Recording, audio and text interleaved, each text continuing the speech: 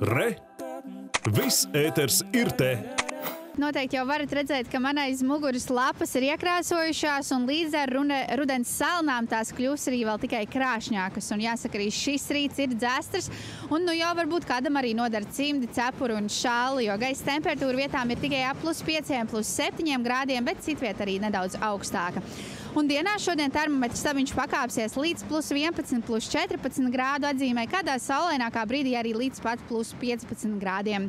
Debesis daļai aizklās mākoņu un vietām sagaidīsim arī īslaicīgu lietu, bet tas gaidāms galvenokārt vietām valsts austrumos un arī dažviet piekrastē. Rīgā arī šodien bez būtiskiem nokrišņiem gaisa temperatūra šobrīd ap plus 9 grādiem, bet dienā iesils līdz plus 14 grādiem. Un tad, protams, par brīvdienām jāsaka, ka brīvdienās laikapstākļi būs tīri labi, jo nokrišņi būs pavisam maz, tie gaidām tikai dažviet. Naktis gan būs augstas, gaisa temperatūra 0, plus 7 grādi valsts lielākajā daļā, bet siltāks tikai piekrastē. Savukārt dienu laikā nebūs siltāks par plus 14, plus 15 grādiem.